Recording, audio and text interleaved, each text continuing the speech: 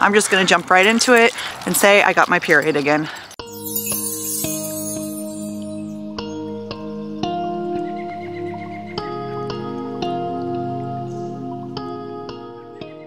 Hello internet friends, welcome back to my channel. If you're new here, I'm MicheWi and I'm on a weight loss journey. And today is Together Tuesday. It's a day where I spend some time outside talking to you guys and then also show you guys a peek into what Steven and I do for time together. So since this is me and you time, I'm just gonna jump right into it and say I got my period again. Uh, I literally got it last Sunday.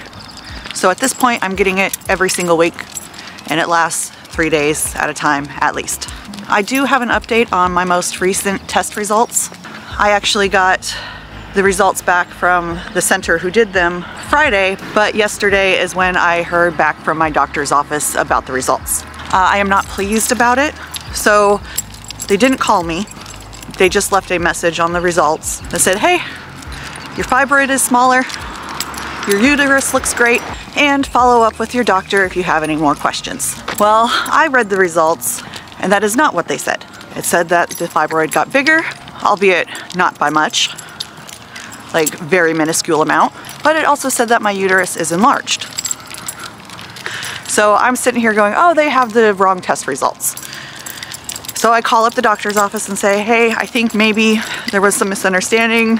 My results did not say what was being conveyed from the message I got.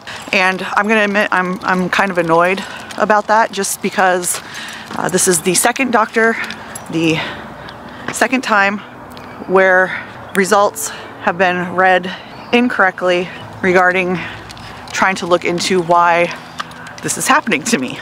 Like, I'm scheduling appointments with you guys. I'm not the one saying I have time for this. You guys are saying you have time for this.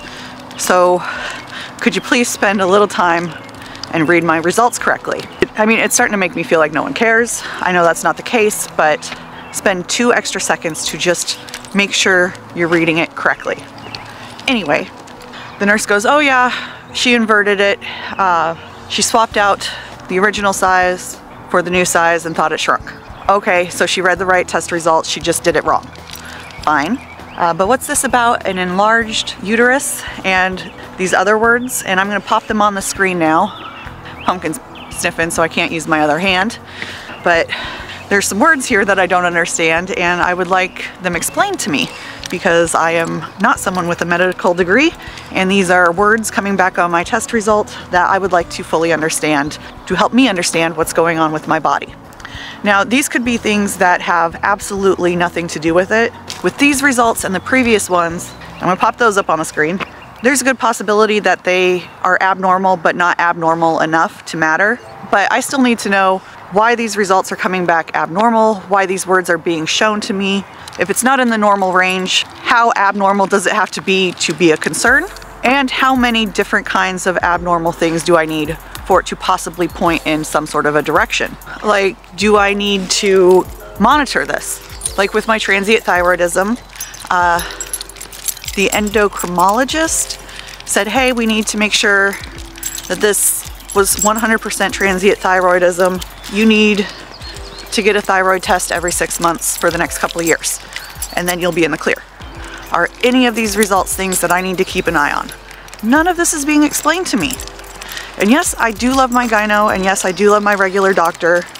The two doctors that read the test results incorrectly were neither one of my normals, but this latest result was someone working in behalf of my gyno.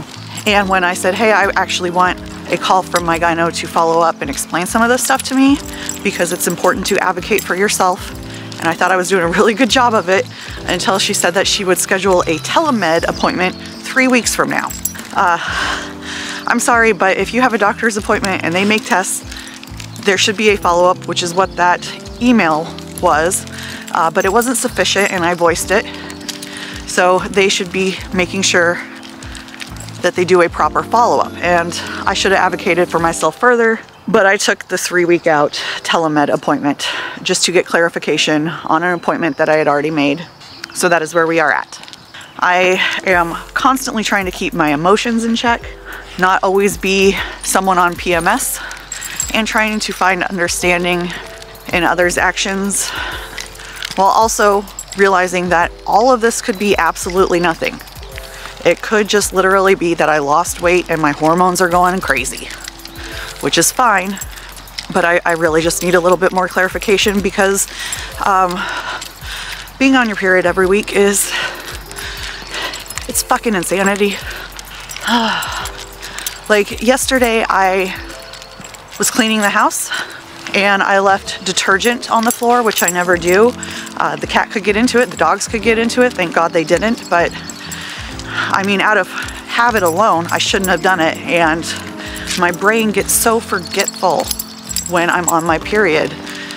And I did enough forgetful things yesterday that Steven was like, hey, are you on your period? Because I didn't tell him. I'm like, at this point, you don't need to know every time. And I'm like, uh, yeah, on my period. And he was able to tell just by the way I'm acting, the way I can't remember words, the way I forget things, the way I left the door halfway ajar, crankiness. It's just, uh, just messing with my head a bit. And you know, if it is the weight loss, I am totally 100% okay with uh, waiting it out for a few months. I got the IUD in to stop my period. And if it's my weight loss messing with it, I obviously don't want to take it out and basically have wasted a year with that thing in me. So I'm just hoping I can get a little bit more clarification. That's all I can hope for at this point. But that's my update. I wish it was a better one. How are you guys? Feeling good? It is crappy weather out here. Do you see this? Had two wonderful days of sunshine. It's supposed to rain later. Got pumpkins walk done. Time for Duke.